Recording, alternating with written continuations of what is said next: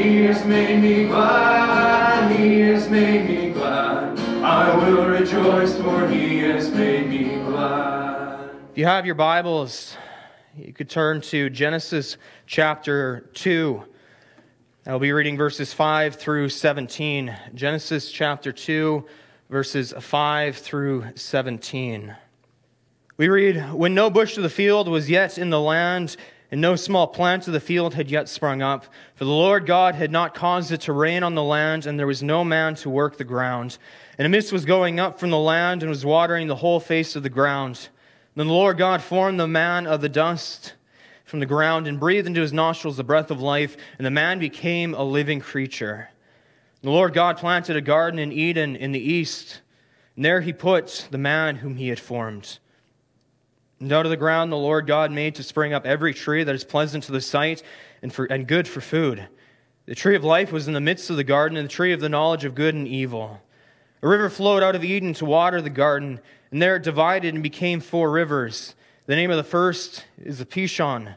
It is the one that flowed around all the land of Havilah, where there is gold. And the gold of that land is good. Bdellium and onyx stone are there. The name of the second river is the Gihon. It is the one that flowed around the whole land of Cush. And the name of the third river is the Tigris, which flowed east of Assyria, and the fourth river is the Euphrates. And then the Lord God took the man and put him in the Garden of Eden to work it and keep it. And the Lord God commanded the man, saying, You may surely eat of every tree of the garden, but of the tree of the knowledge of good and evil you shall not eat, for in the day that you eat of it, you will surely die. This evening, I've entitled our message, The Temple City.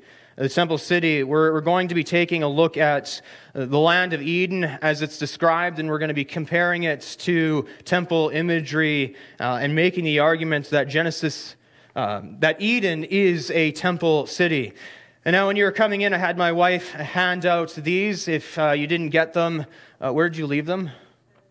By the sound booth. If you'd like to grab one, they're there by the sound booth. This is just uh, an outline of some questions for you to fill in. Pastor Gene had done this this morning, and uh, Pastor Stephen had asked me for some discussion questions for afterwards. And so I thought, well, let's just print off one of these for you, and you can follow along and fill that out if you would like. So far, as we've been going through the book of Genesis, we've been following the Toledot structure. There's a phrase that's repeated throughout Genesis 10, uh, 11 times. These are the generations. We see this in the section we're at right now, which is section 1, which takes place in Genesis 2 4. It says, These are the generations of the heavens and the earth. And what this heading gives us is it tells us that it's about Uh, it's going to be about Adam and then those who come after him. And so we're in the first section of the book, and we finished up the introduction, which is chapter one, giving us this overview of Genesis. We've been looking through what creation tells us. The creation tells us many things, and it, gives us much knowledge about who God is, his attributes, and his characteristics. It's not just here's how you were formed, here's where your origin is, but it also tells us who God is. Who is this God that we worshiped? And so we're continuing today to look at how God is relational, as chapter 2 is really honing in on this process that God is a relational God Whereas chapter 1 gives us this broad overview of God as an all powerful God, and we went through the other points so far. But many of the other points that we went through we'll also see here in chapter 2. And so this is sort of where we've been going through over the past number of weeks, but I have a question for you. What is God's purpose in building Eden? What is God's purpose in building Eden?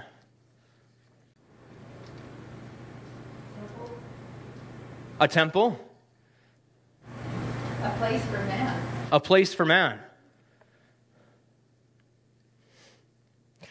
Yeah, a temple, a place for man, a paradise, uh, a relational place where God can come and dwell with man. Uh, God is, building this place in Eden, and it all drives us to this point that Eden is a temple city. And as the title of this message states, that, that is where we're going to be going this evening and looking at how Eden is a temple city with the language used. A couple quotes for you from commentators on this. J.R. Middleton says, Suppose we press the question, what sort of building is God making in Genesis chapter 1?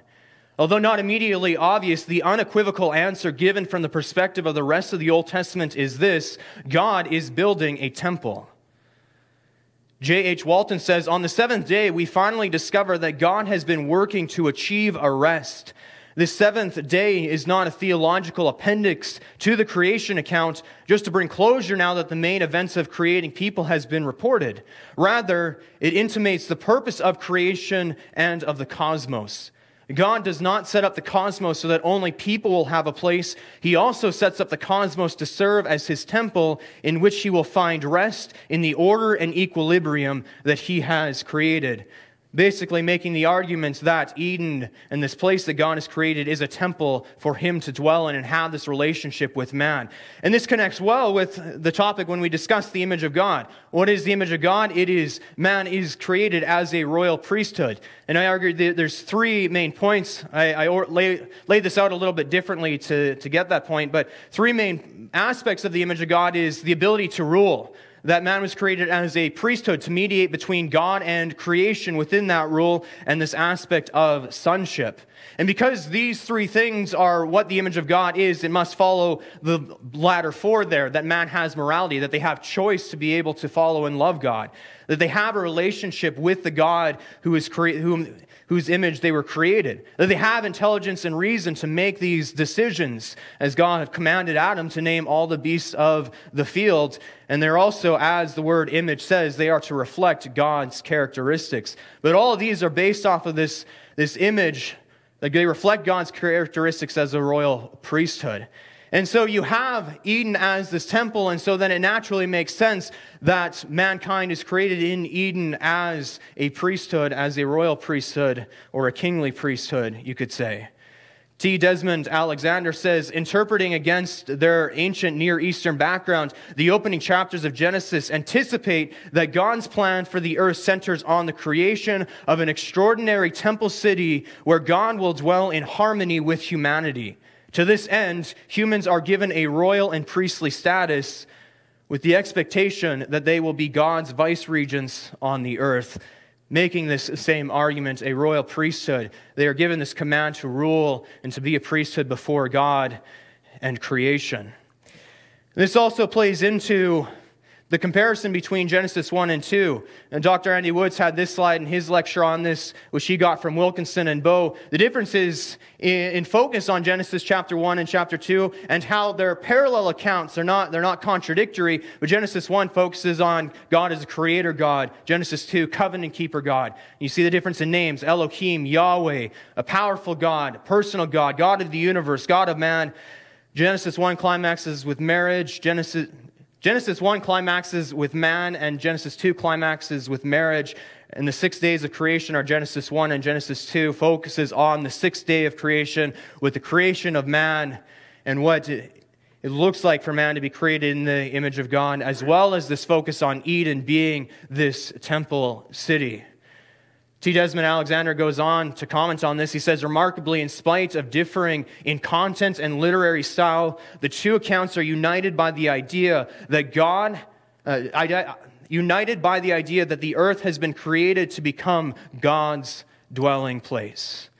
Several weeks ago, first week in January, we discussed the question why does God rest? If God is a, is a being an all powerful being who does not get tired, who does not get weary, why does God rest? And we looked into how he patterns the Sabbath. To expand on that a little more, there's another reason why God rests. It is a picture of him dwelling in his temple. It's a picture of him dwelling in his temple. When he finished creation, he declared it very good. Then he goes on to rest, which gives a picture that he is then gone down into his creation to dwell there and rest from his work that he has done because it is completed. And so, why does God rest? It is patterning for the Sabbath, it is patterning for man, but it is also a picture of him dwelling in his temple because Eden is a temple city. Now, after going all through that and making all these claims, Eden is a temple city, and these commentators that are saying Eden is a temple city, where do we get this concept that Eden is a temple city? And this comes from, as one commentator noted in one of the quotes that we read, there are many parallels and patterns throughout the Bible of this. Eden is a parallel to the temple and the tabernacle. Eden is a parallel to the temple and the tabernacle. As Wenham says, many of the features of the garden may also be found in later sanctuaries, particularly the tabernacle or Jerusalem temple. These parallels suggest that the garden itself is understood as a sort of sanctuary. A sanctuary being very much involved in the same in line with a temple. And so, how is Eden and the temple and the tabernacle parallels? Well, Eden is a place where God's presence is known. In Genesis 3 8, it says, As and they heard the sound of the Lord God walking in the garden in the cool of the day. And the man and his wife hid themselves from the presence of the Lord God among the trees of the garden. So God's very presence came into the garden to dwell with Adam and Eve, to have this relationship with them. You also see the same with the tabernacle. It is a place where God's presence is known. Isaiah 40 34 I, Exodus 40, 34 says, Then the cloud covered the tent of meeting, and the glory of the Lord filled the tabernacle. And this passage goes on to say that the glory was so intense that no one, including Moses himself, could enter the tabernacle at that time because of God's presence that poured out on the tabernacle. When we read in 1 Kings chapter 8 or chapter 10, it says the exact same thing that when the temple was finished, God's glory filled the temple, a symbol of his presence. In Eden, we see it as a place where God dwells. That same passage in Genesis 3 talks about him being present in the garden. It is a place where he would dwell with Adam and Eve. We see the same with the temple and the tabernacle. As Psalm 132 14 alludes to, it says, This is my resting place forever. Here I will dwell, for I have desired it. Eden is a place where the Lord walks. The Lord walks in Eden, as Genesis 3 8 says, when they heard the sound of the Lord God walking in the garden. We also get the same imagery with the temple. Leviticus 26, 12. I will make my dwelling among you, and my soul shall not abhor you, and I will walk among you, and I will be your God, and you shall be my people. What is the ultimate symbol of this? It was the tabernacle, the place where God dwells. Eden and creation focuses in seven days, and there's also this focus on two trees the tree of the knowledge of good and evil, and the tree of life. And you have this focus on the seven days within that in the temple, in the tabernacle, there was a menorah, which symbolized this. The seven branches of a, a menorah uh, are believed to symbolize creation, and a menorah is shaped like a tree. As you can see here, the seven branches came out, and when they describe the menorah and the way it is created, it is described as if they are, as if it is a tree. And so you have this, this connection with the tree as well. In Eden, there's a river that flows out of it. As we read, a river flowed out of Eden to water the garden, and there it divided and became four rivers. In the temple that Ezekiel speaks about, which is a temple in the future, it gives this same picture as well. Ezekiel 47 1 Then he brought me back to the door of the temple, and behold, water was issuing from below the threshold of the temple toward the east, for the temple faced the east. The water was flowing down from below the south end of the threshold of the temple, south of the altar. You have as well. In Eden, gold and onyx are in the land. As we, we read in, in Genesis 2, there, there's uh, two places given where gold and onyx are plentiful, and it says there, the gold is good. Giving this uh, picture that gold isn't something that is inherently corrupt, and money isn't something that is inherently corrupt, but it is how we perceive money, what we do with money. But gold and onyx are plentiful in the land. This is also connected to the tabernacle because gold and onyx are used extensively to decorate the later sanctuaries and priestly garments. You have as well, Eden was built on a mountain along, on high ground. As some will argue out of Ezekiel 28, the last two lines, I placed you, you are on the holy mountain of God, in the midst of the stones of fire you walked.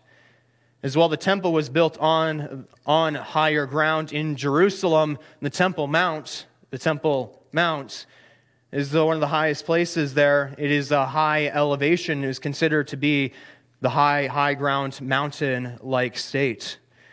God's holy mountain, that verse we read in Ezekiel, uh, called Eden and made reference to Eden as God's holy mountain. And the temple is also called God's holy mountain in connection with Zion, Jerusalem, because the temple is there. Psalm 2 6, As for me, I have set my king on Zion, my holy mountain. Why is Zion, why is Jerusalem this, this focus place? It's because that is where the temple is. Same in Joel 3:17, you shall know that I am the Lord your God, who dwells in Zion, my holy mountain.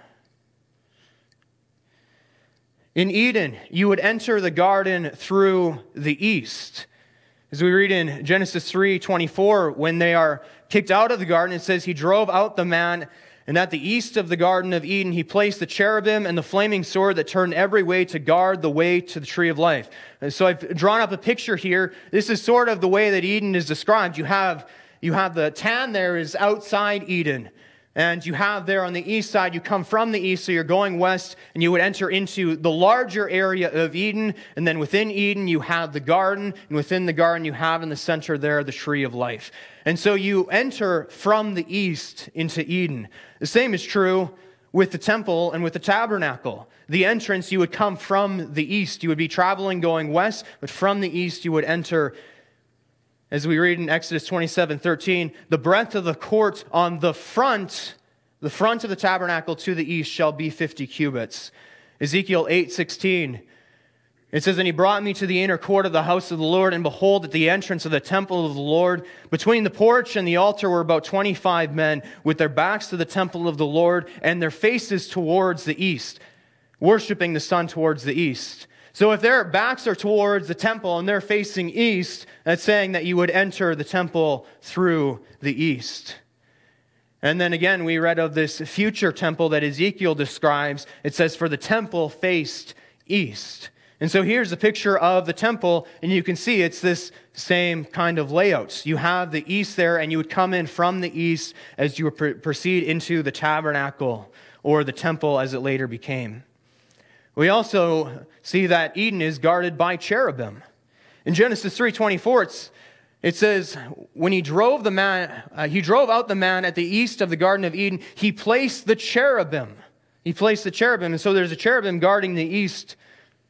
You also have the cherubim guarding in the temple on the Ark of the Covenant. It says, You shall make two cherubim of gold, of hammered work. You shall make them on the two ends of the mercy seat. And so you have the cherubim there on the Ark of the Covenant with their wings outstretched on the mercy seat. The mercy seat literally translated in the Hebrew as the covering.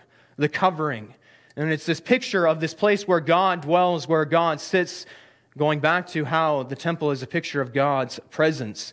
But you see both cherubim guarding Eden and cherubim guarding the Ark of the Covenant because not anybody can go in and touch the Ark of the Covenant. That was reserved for the high priest once a year under very special circumstances that he must have qualified, that he must qualify for. We see in Eden, Adam served a priestly role. You can look at the reference in Genesis 1:28. You see that the you see the Aaronic priesthood. So you have a priesthood in, in both places. The royal priesthood is more accurate for it, and the same is true with the Aaronic priesthood. They were to be a priest of kingdom, uh, a kingdom of priests, a royal priesthood. Exodus 19:6. And you shall be to me a kingdom of priests and a holy nation. These are the words that you shall speak to the people of Israel. You have very similar language used for it. Adam and Eve are to work, avad, and to keep shamar, the garden. I've highlighted these words, and the Lord God took the man and put him in the garden to work it, avad, and to keep it, shamar. These same words are used for the priests when they serve and keep the temple.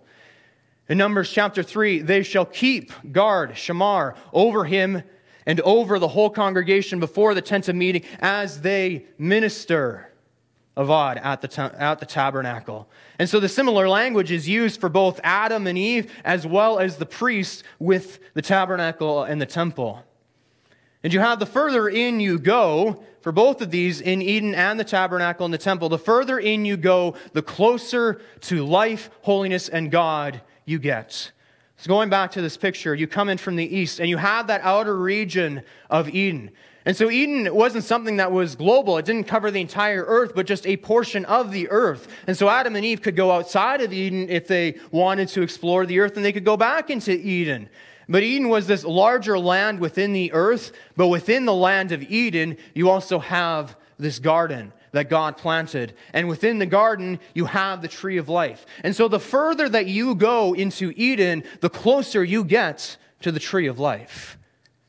The same is true with the tabernacle and with the temple. You have outside of the tabernacle where most people would dwell. Most people were not allowed to go into the tabernacle or into certain sections of the tabernacle. So you have this outside area like you did in Eden. Then you have the outer courtyard.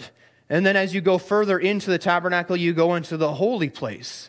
And further in, you go into the Holy of Holies. And as I said, that was reserved for the high priest once a year if he met the circumstances and he was clean when he went in there and he went through the sacrifices needed to go in there to do the sacrificial offering for Israel once a year at Yom Kippur. And so you have this picture of the tabernacle that the further you go into it, the further you get to holiness, that you get to where God dwells, and in a way, you get to life. Now, if you are corrupt and you go into that place where there is life, you will only find death because you go in corrupt. But if you go in under blood, this even takes us to the new covenants. If you go in under blood, the high priest was able to make sacrifices.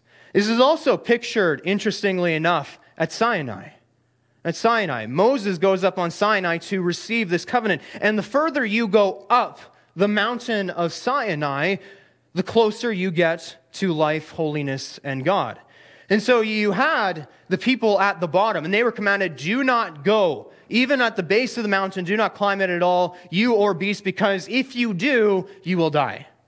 But then there were some who were allowed further up the mountain, like Joshua was allowed further up the mountain. So much so that when Israel was worshiping the calf god, Joshua was high enough up on the mountain that he could not see what Israel was doing, but only heard the cries and thought that war had broken out. But the top of the mountain where Moses received the covenant was reserved for Moses alone. And we can take this back to the tabernacle language. The people are on the bottom, they are outside. You have the outer courtyard being the base of the mountain. You have Joshua reflected as the holies and Moses reflected as the holy of holies.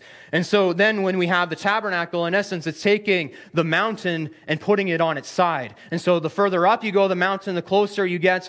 You tilt it to the side. The further in that you go from the east, the closer you get. And the same is true with Eden. Now, Eden is unique, isn't it? Because there's no sin. There's no sin. Whereas with Sinai and with the tabernacle, there was a sin barrier. But Adam and Eve were free to go in as they pleased. They were free to go to the tree of life when they wanted and eat of it. They had that freedom because there was no sin. And so Eden was unique in this aspect that there was this perfect presence, but there was still in the middle of the garden the tree of life, which symbolized life, holiness, and God's presence. We also have in Eden, Eden is declared good. And God saw everything that He'd made, and behold, it was very good. This includes Eden, the temple city. There's an argument that the tabernacle and the temple are also declared good. In Exodus 39 43, it says, And Moses saw all the work, and behold, they had done it as the Lord had commanded. So they had done it, then Moses blessed them. And you may be looking at this passage and maybe saying, Aiden, I don't see the word good in here. Where is the declaration, it is good? Well, let's take a moment to understand what God means when he says it's very good. When God says it's very good, he, he, is in one sense giving a blessing to it. What does Moses do? He blesses. There's a blessing aspect to it. There's also this aspect that it's, it's completed, that it's finished. There's nothing lacking to it. It's satisfactory. It, it's not that God needs to create more to make this better. We see that with Adam and Eve. It was not good for man to be alone. It's not good. Does that mean it's sinful? No, it means that it's incomplete. It's not satisfactory. And so God creates Eve out of man. And after that, God says, It is very good. It is satisfactory. It is complete. It is pleasing to me. And so when we get the description given here, and Moses saw all the work, and behold, that they had done as the Lord commanded, so they had done it, then Moses blessed them. It gives this picture that the work is completed. They don't need to build another altar. They don't need to build another another tabernacle. They don't need to build another menorah. Any of the objects, it's completed. And so you have this aspect of it being good and up to the specifications and the satisfaction that God gave. And we can see this because why? When they finished it, God's presence came and dwelled within the tabernacle. Along the same lines, both are declared finished. Genesis 2 1 Thus the heavens and the earth were finished, all the host of them. Same with the tabernacle. Thus, all the work of the tabernacle of the tent of meeting was finished. And the people of Israel did according to all that the Lord had commanded Moses, so they did. You also have an aspect of rest after the completion. And on the seventh day, God finished his work that he had done, and he rested on the seventh day from all his work that he had done. And you have the same is true, the same aspect of rest after completion in Psalm 132, verse 14, where God says, This is my resting place forever. Here I will dwell, for I have desired it. Giving us this picture that God desires to rest and to be with man. And as we stated earlier, why does God rest? Well, it's a picture of Him dwelling. Psalm 134 14 gives this connection. And so here are 17 reasons why Eden is a temple city and the parallels between the tabernacle and the temple. And we could go on. The list goes much further. A man wrote a 300 page book on this very topic. I have not read it, so I can't recommend it. And how accurate it is, I don't I don't know. I haven't looked too much into it. But there is a lot of work that people have done in comparing these two to say Eden is a temple city. But this takes me to another question What is a temple? We've talked about how Eden is a temple city in these parallels, but, but what is a temple? What is, the, what is the purpose of the temple? We've answered some of these. A temple is a place of God's presence. It's a place of God's presence, and paralleled with that, the place where God dwells. It's a place on earth. Eden was a place of paradise. And so God could freely walk with man in the garden because there was no sin. In the tabernacle and the temple, it's more restricted, isn't it? Because of our sin. And so we can't just march into the dwelling of God, and if a priest did that, he would be struck dead. And so it is a place of God's presence and it is a place where God dwells, but because of our sin, there were restrictions on going into the place where God dwells. There's also, in a sense, it being a, a, gateway, and I didn't quite know what word to use here. Some will say, uh, we'll use the word gateway, some will use a portal, some will say the place where heaven meets earth. It's sort of this concept where you have God dwells in heaven. But then you have this aspect where earth is also God's footstool, but where is that the place where that is shown most? It is the temple in the Old Testament. And so some will make the argument and say, oh, it's like a gateway or a portal. And it reminds me of the, the song, it's possibly the, uh, one of the weirdest Christian song lyrics that, that I've heard in a worship song uh, from How He Loves When heaven meets earth like a sloppy wet kiss. And David Crowder changed that to, uh, to an unforeseen kiss. But they're trying to get this picture that heaven meeting earth is the sense where God dwells. And when he's referring to that, he's referring to the incarnation. But it, the temple gives this picture uh, of this gateway between heaven and earth where God dwells and God's presence is known. And lastly, it is a sanctuary. The temple is a sanctuary. What is a sanctuary? There's two aspects to this. It's a safe place. And during the, I believe it was the Middle Ages, if somebody was, the law was trying to capture somebody, uh, somebody could go into a church and say, I declare sanctuary. I declare this a, a safe place where I, I cannot be killed. The law cannot come in here and harm me until my sanctuary is foregone, or whatever laws they had around that. But the whole point behind it was you can go to the church, go into the building, and declare sanctuary as a safe place. There's a sense where the temple is a safe place. At the same time, there's a sense where the temple is not a safe place at all because of our sin. But a, a, sanctuary, and the aspect of that is a safe place. The second aspect of that is it's a place of worship. What do we call the area that we are in right now? It's a sanctuary. We call it a sanctuary. Why do we call it a sanctuary? Because it's a place where we worship. What is the temple? The temple is a sanctuary. What do they do at the temple? They offer sacrifices. Is it just for forgiveness? No, that's for only two of the five routine sacrifices, and not even for all of the feast, uh, festival sacrifices. There are a lot more sacrifices. You have the whole burnt offering, that is a sacrifice of thanksgiving. You have the grain offering, that is a sacrifice of thanksgiving. You have the peace offering, which is a sacrifice of worship and thanksgiving. And there's some more connections to that. There's different aspects to the peace offering. But the point is, you have these sacrifices that are taking place in the temple daily, and not all of them are for sin, many of them are for thanksgiving. And so the sanctuary is a place of worship. But even the sacrifices that are meant for sin are also a place of worship. Here is how I have failed, God. I repent. Please forgive me. It is an aspect of worship that we're saying, I want to be closer to you, God. I want to have this right relationship with you. I want to worship you.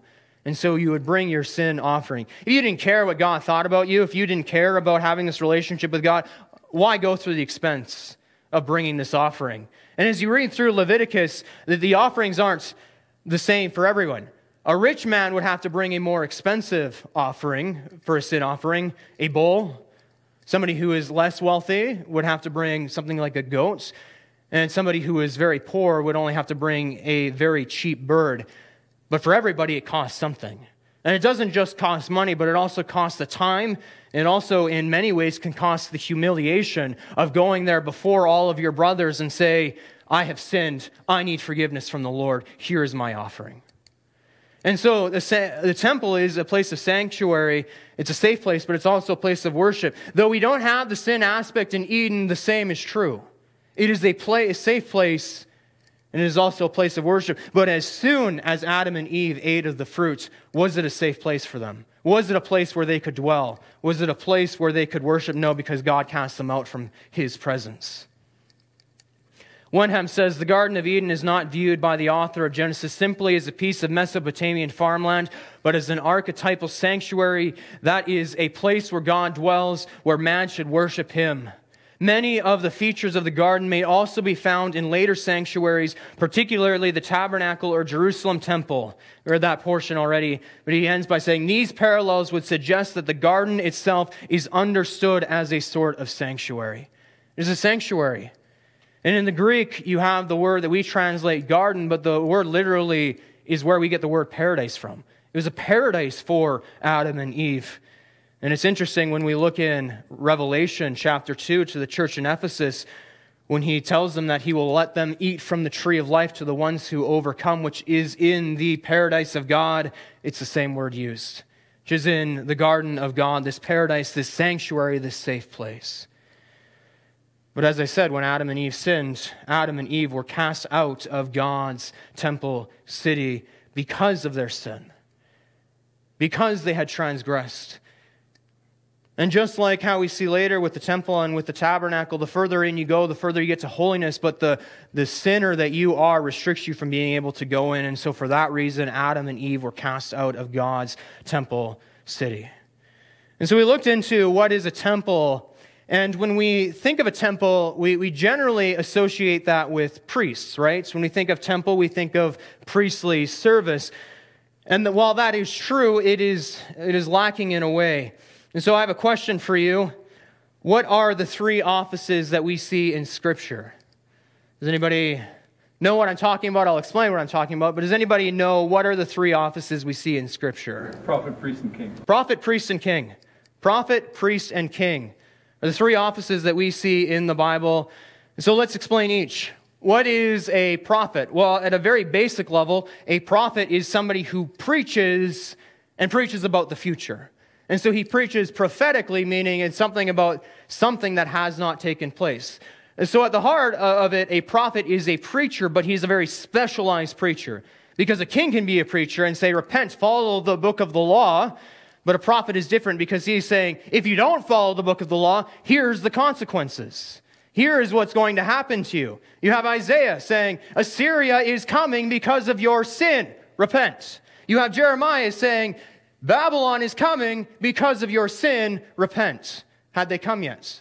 Pastor Gene talked about that this morning in his introduction into the book of Daniel. that God gives these prophecies beforehand.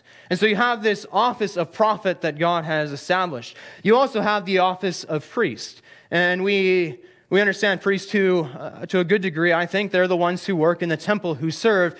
In essence, a, piece, a priest is a mediator between God and man, or in the garden sense, between God and creation and the future generations that would come. And so a priest is a mediator, and all the work that they do in the temple with the sacrifices, with the offerings, with the gifts, and everything is to say, here is the gift from man to you, God, and what is God's response back to them. And so it is this mediator between God and man. That is a priest and a king. I think kings that we are most familiar with, they are one who rules and they are one who rules in a monarchy, and we, we understand well the sense of a king. And so you have these three offices prophet, priest, and king. But in Eden, we see that we are cre- they were created in the image of God, and we are created in the image of God. But in Eden, you see that the image of God is a royal priesthood. It's not a royal priesthood of prophets, is it? Why is that? Why is there no mention of prophets in Eden? Is because Eden is a paradise. Eden is perfection. And so to say that there are prophets in Eden doesn't make any sense. What it's the only thing that they would prophesy about the sin that would later take place. When you are in perfection, there is no need for a prophet. The same will be true when we get to the new heavens and the new earth. When we are in paradise with God, there will be no more prophets. As it says in Daniel chapter 9, when discussing the 70 weeks, he will put an end, he will seal up both prophets and vision. Why will he seal that up at the end of days? Because there's no more need for it. Everything has been fulfilled. And so everything that the Bible points to with the prophet is going to be fulfilled by the time we get to the new heavens and the new earth. And when we get there, there is no more need for a prophet. And so when we look at the image of God, we see it's a royal priesthood, but you don't see this aspect of prophet within that because a prophet is something that comes from sin.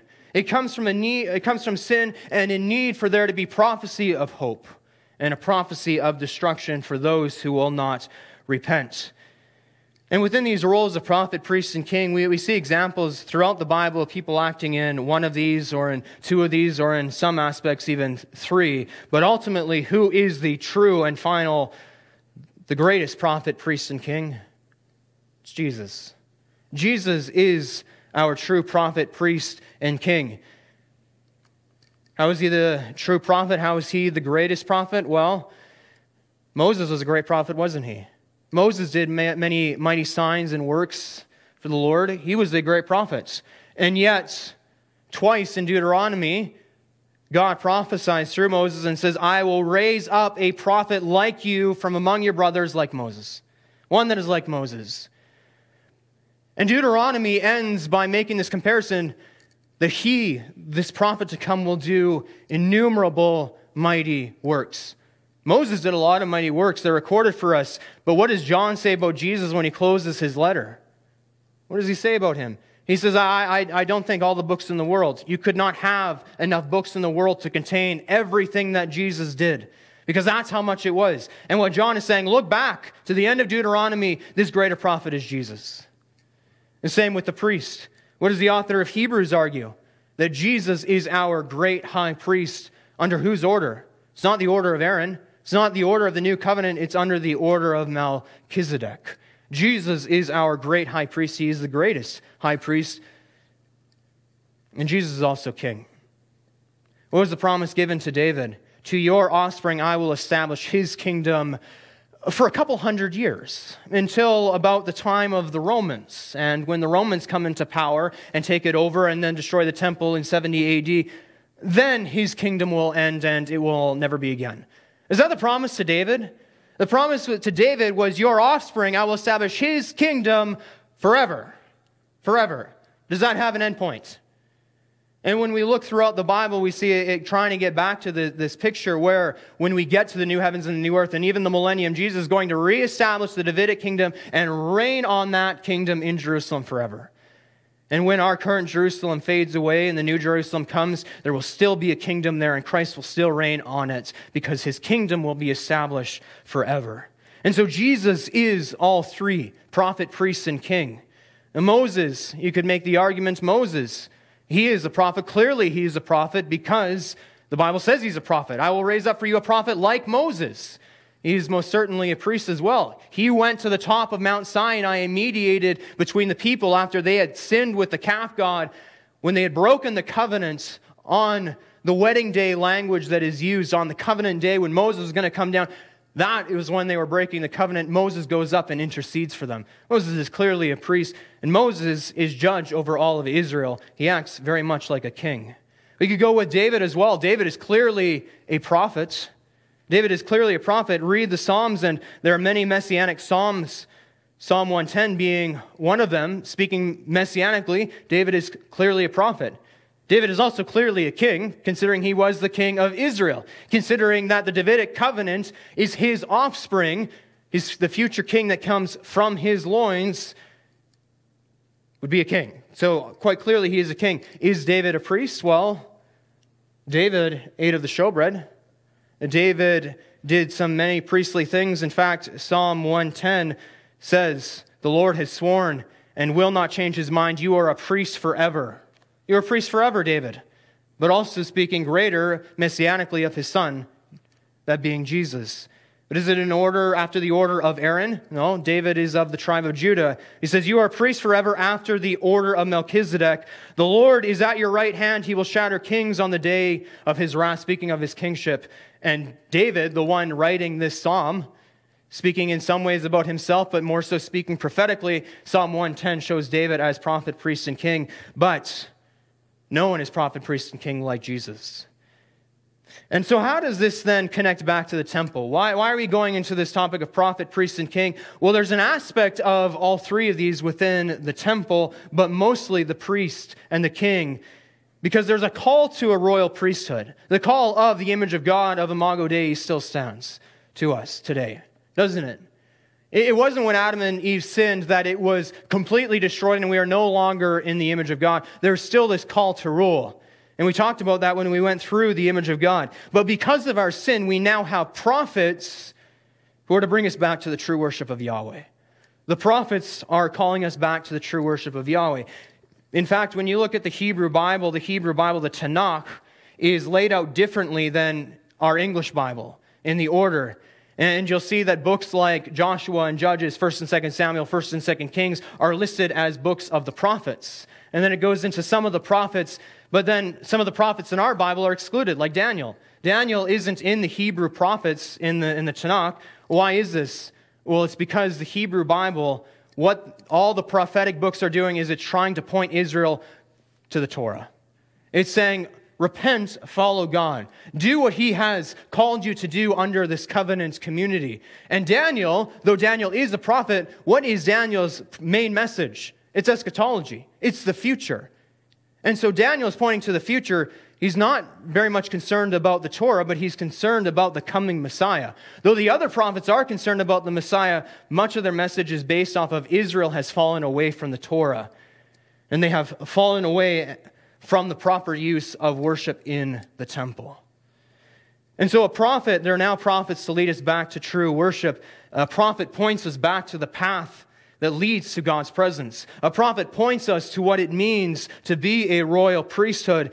And Jesus, Jesus as our true, as our greatest prophet, priest, and king, will lead us into a new temple. And as a prophet, he has told us that that will happen. Let me ask you this question. If the temple is God's place of dwelling, is there one in the New Jerusalem? It's a trick question. Thank you, Fred. And I put a line there in your notes if you want to write. You could write yes and no, because it is a trick question. Revelation chapter 21, verses 22 through 27. And I saw no temple in the city. So, no, there's no temple in the new heavens and the new earth, right? No. Well, it says then, for his temple is the Lord God, the Almighty, and the Lamb. So, though there's no physical temple building, there is still a temple because it is the Lord God, the Almighty, and the Lamb. And the city has no need of sun or moon to shine on it, for the glory of God gives its light, and its lamp is the Lamb. By its light, the nations walk, and the kings of the earth will bring their glory into it, and its gates will never be shut by day, and there will be no night there. It will bring into it the glory and the honor of the nations, but nothing unclean will ever enter it. nor anyone who does what is detestable or false, but only those who are written in the Lamb's book of life. What is this describing? It's describing Eden, the perfection of it. But as I would argue, this is an even greater way than Eden. And so you see that there's also a parallel between Eden and the new heavens and the new earth, with its temple being the Lord God, the Almighty, and the Lamb. We went through these 17 reasons. We could also add on another column, and I didn't because there's no way you would be able to see it, even when I went into the smaller boxes. But Eden was a place where God's presence is known. Is God's presence known in the new heavens and the new earth? Yes, because He is the temple, meaning His presence is continually there. And I would argue that this, as well as the place where God dwells, the place where God walks, within this is in an even greater way than Eden. Because when Adam and Eve sinned, you get the imagery that God was not currently with them at that time. And then they ate of the fruits. And then they hid themselves. And then the Lord God's presence came into the garden and they heard him walking in the cool of the day. And so you get this, this picture that is a little bit different compared to what we get in the new heavens and the new earth, with them being the temple. And as 1 Thessalonians 4 says, when speaking about the rapture, it says, For we will always be with him. It's not we will be with him for a little time and then he will go away and then he will return. We will always be with him. So whether he is in heaven and we are dead before then or raptured before then, we will go up to be with him in heaven. But when he comes down at the second coming and establishes his kingdom, we come with him because we will be with him. And it'll be like that forever. And so the new t- temple, that being the Lord God and the Lamb, is a place where God's presence is known. It's a place where God dwells. It's a place where He walks. You see the symbolism of the tree of life. What is in the New Jerusalem? The tree of life. And Pastor Tim is going to speak on that with you next week. You see this river flowing out of Eden. What flows through the New Jerusalem? A river. Gold and onyx are used extensively in the temple. What are the streets paved with? Gold. Gold in the new heavens and the new earth. The temple was built on the high ground. The same would be true. God's holy mountain, the ultimate God's holy mountain, is the new created Zion, the new Jerusalem. Is guarded by cherubim. Well, this one is one where it falls short, doesn't it? because there is no guarding of the cherubim. What did our, our verse say? It says, and its gates will never be shut by day. There's no need for it to be guarded. Why? Because nothing detestable, nothing sinful, nothing unclean is ever going to enter this city. Nothing will enter this temple that is an abomination to the Lord. And so there's no need to, for it to be guarded by cherubim. But what will the cherubim do? They will continue to praise God forever. You have this aspect of priesthood, this aspect of a royal priesthood. What will we do? What will Israel do? What will all saints do forever in this temple? We will reign as a royal priesthood, the image of God restored. The priests were commanded to work and keep the tabernacle. The same principle we will be commanded to reign, to work, to keep. Not keep in the sense of it fading because the Garden of Eden didn't fade, but the sense of pouring out our creativity unto the glory of God. The further in you go, the closer to life, holiness, and God. Well, this isn't exactly true either, is it? Because the whole place is a place of holiness, a place of God, a place of life. It is perfect perfection, so there's no need to go in deeper to get to these things because the whole thing is it. At the same time, there's also the tree of life there. It is a good place. Though we don't have a declaration of good, though we don't really have a declaration of finished other than the end of Revelation where it says, Amen, let it be so. It is a place that is good. And when Jesus finishes his work after the millennium and he closes vision and prophets, it will be finished. Everything will be finished. There will be no need for prophets, and there will just be the royal priesthood. And there's an aspect of rest after completion. We discussed how we will have a final rest and how Joshua makes the argument based off of what David says that Joshua did not give Israel the promised land, that he did not give them the true rest that was promised. Why? Because Israel fell back into sin again and again and again. And so war and takeovers of the land came again and again and again. That won't happen in heaven because it will be a place of perfect rest. And so uh, you could take all of these and in some aspect or form are connected with the new temple, that being the Lord God Almighty and the Lamb in the new heavens and the new earth. And if it's not a direct parallel, it's a contrast to say this is even greater. And again, as we have looked at for several weeks, Scripture draws us back to the perfect. We're spending this time looking through creation because there's all these parallels we see in these different aspects that are taking us back to the new, are taking us forward to the new heavens and the new earth, where Scripture is all about trying to get us back to this perfect because we have Genesis 3 and we have Genesis 4, and the corruption that follows after that goes throughout the whole Bible but throughout that corruption, there is a some called the scarlet thread, in which Jesus comes and dies for our sins. And when Jesus came and died for us, Jesus came and died for us, he did a great work in us. He made us spiritually dead creatures alive together with Christ, for by grace we have been saved. Not of our own doing, not of our own works, but through his work. Through his work. And Scripture is drawing us back to this perfect, but we also see that in our redemption, we see something very interesting. We see we are God's temple. We are God's temple. 1 Corinthians chapter 3 verse 16 and 17 say, "Do you not know that you are God's temple and that God's spirit dwells in you? If anyone destroys God's temple, God will destroy him. For God's temple is holy and you are that temple." We as believers are the temple of God. Well, let's go back to what is a temple it's a place of God's presence, it's a place where God dwells, it's a sanctuary. And what does Paul say here? And that God's Spirit dwells in you. And so the, the sign of the new covenant is the indwelling of the Holy Spirit. God's perfect law being written on our hearts as the Spirit indwells in us. That is the sign and the promise of the new covenant is also the seal that we will one day go and be in this new heavens and new earth. As Ephesians 1 and Ephesians 4 argue, the Holy Spirit is the guarantee, it is the down payment of our redemption. And as Paul says in Philippians 1 6, that he who began a good work in us is faithful to bring it to completion. And so, this new covenant is God's Spirit, the Holy Spirit dwelling in us. What is that a picture of? Is a picture of the tabernacle. It is a picture of the temple. It is a picture of Mount Sinai where Moses was up on the mountain and God's presence was there. What did Moses ask God? God, please show me your glory.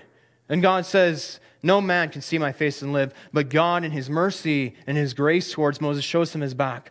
But Sinai was a picture of a place where God's Spirit dwelled, where God's presence was. Same with the temple, same with Eden. It's the same in our hearts. And because of that, we are a light to the world that shines God's presence because we are God's temple. And the gospel is the promise of this. It's an amazing promise, it's an amazing truth. When Jesus said, He will never leave us nor forsake us, He meant it literally because He put the Holy Spirit in us. And the Holy Spirit abides in us for maybe 100 years, maybe 20 years, maybe 50 years, uh, maybe until the world decides to snuff out the church. No, I will put my spirit in you forever. Forever. I will put my spirit in you forever. When God says forever, do we mean it believes forever?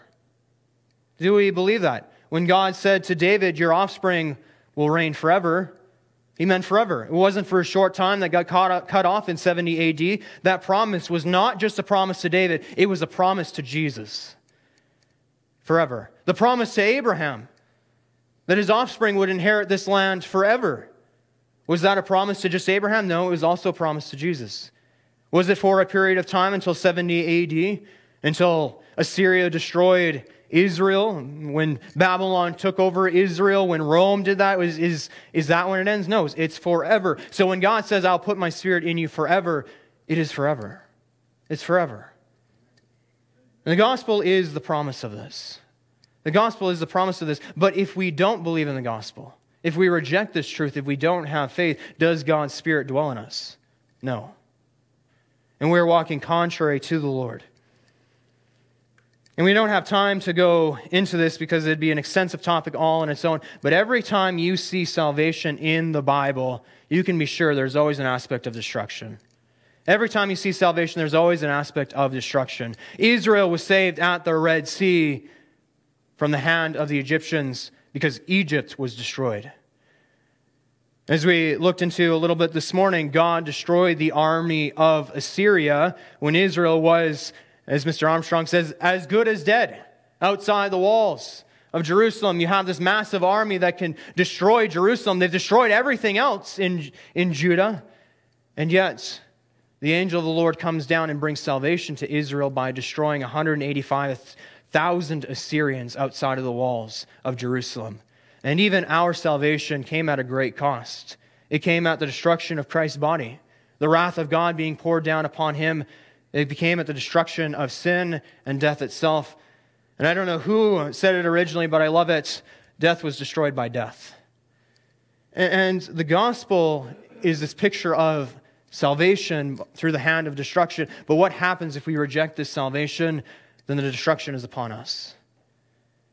And the Bible is very clear about that, that the eternal consequence is hell. It is separation from God. If you desire to not be God's temple, to have His Spirit dwell in you, to have His presence with you, if you do not desire that, but walk away and reject Him and reject His presence, then God says, I reject you forever. But those who accept Him, who accept the redeeming blood of Christ, the promise of salvation God's Spirit put in us is forever, meaning we will live forever with Him. We have eternal life, and we can be sure of that because the Spirit placed in us is the down payment of our inheritance. And if you put a down payment down, then it will be brought to completion, as Paul also says. And so we are God's temple. Eden was a place of a temple. The new heavens and the new earth is a place of a temple. But right now, we are the picture of that. And so we should go out into the whole world and declare the sanctuary to the world because they are in need of the same redemption.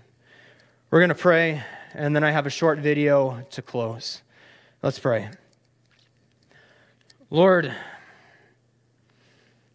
I thank you for this imagery of the temple that we have throughout the Bible. Lord, this imagery is an image of you being a relational God. It is the imagery of you longing to have a relationship with us.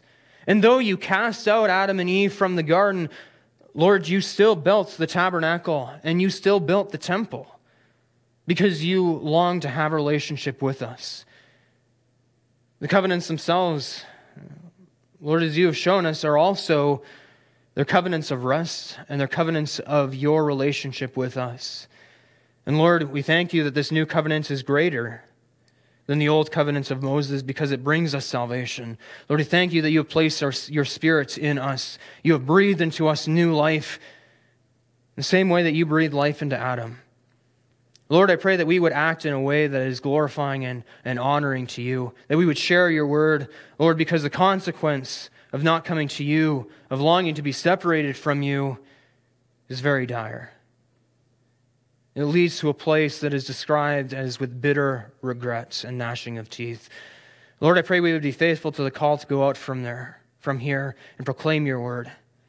Lord, that you are a God who is loving, that you are a God who is relational, but Lord, you are also a God of wrath who will not let evil stand forever. And Lord, you have promised that one day there will be an end to evil we will have to fear no more, and we will have perfect peace and rest in you, in your new temple, in the new heavens and the new earth, because, Lord, you are the temple, you are the light forever. I thank you for that. I pray your blessings upon us. In Jesus' name, amen. Jesus paid it all, all to him I owe. Sin had left a crimson stain.